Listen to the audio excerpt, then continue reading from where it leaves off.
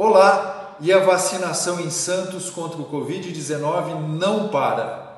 Continuará nessa quinta, nessa sexta, que é feriado, no sábado e domingo. A vacinação em Santos não vai parar.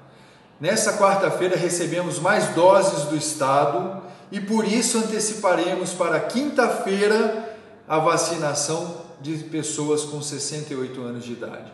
A Prefeitura de Santos tem essa preocupação com a vacinação e nunca aguarda momento algum para iniciar a vacinação. Assim que chega a vacina, nós iniciamos a vacinação. Santos vai vacinar em todos os dias do feriado.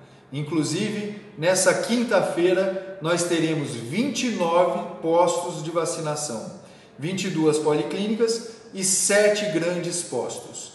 A programação completa você pode ver no nosso site www.santos.sp.gov.br. Um abraço a todos!